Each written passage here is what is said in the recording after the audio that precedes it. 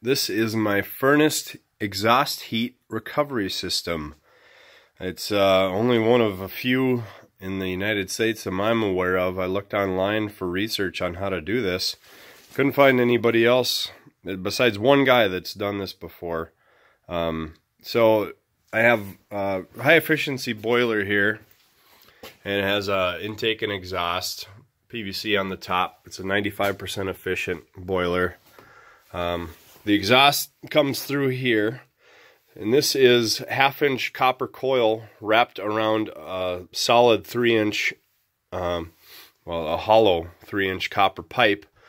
And I have water lines running through the copper coils and they extract heat from the wasted exhaust um, from my boiler. So, um, pretty, you know, pretty rare that somebody has something like this. I haven't seen any any other ones like it.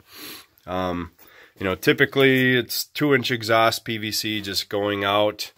Um, and so I, I it, it, was pretty easy to do these, these, um, I, I bought it off eBay, these drain heat recovery. So typically they're vertical and they go in your waste stack of, uh, your plumbing drain and waste. They go vertically here and that would capture heat from showers and and whatnot that, that you lose going down the drain. Um, so that's the principle that uh, that copper extracts heat from the water. Well, the most heat loss of of your appliances or in the house is from your furnace. So mine's a 95% efficient furnace. 5% of it is going outside and going out through the exhaust. So there, there's quite a, the, the exhaust is still pretty hot. Um, and um, so you, you really still, you really cover a lot of heat out of this. Um, these coils get, get really hot, almost too hot where I can't even touch it. Um, and so it, it works really well. I just, I spliced in here with a, a upsizer to three inch. And now when so this has to slope back towards the boiler, right? When this is condens condensation in, in the exhaust pipe. So it needs to flow back to the boiler.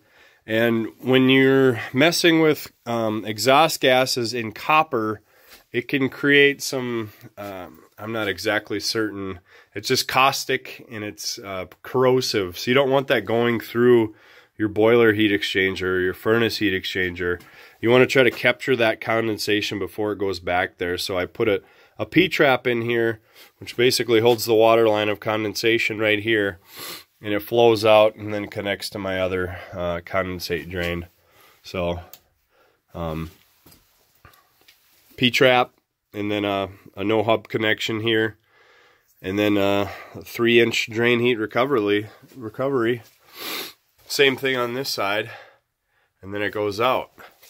So I have a, a, cold, the cold water line comes in here, um, spins through and gets preheated and then comes out and goes to my, the rest of my house. Um, I'll show you the connections. So this is my main water line to the house. Uh, and you install these T's. Um, I can't remember the name of them, but they have a, a little diverter in them. And it diverts half of the water this way and half of the water that way. So half of the water goes through, of every gallon that goes through the house will go through this line, through my preheater, and then come back here.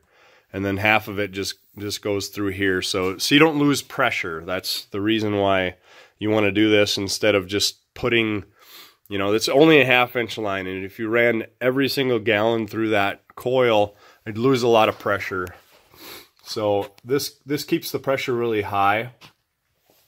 So it goes through the coil and then comes back here preheated and then it basically warms up every gallon of water that, that comes into the house and it just, it helps with the water heater. It helps with, you know, just cold for, for the laundry.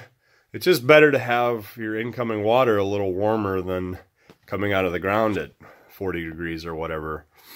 Um, so it's pretty, pretty easy to install. And I just wanted to give a little video of this because I think it's pretty neat. It works really well.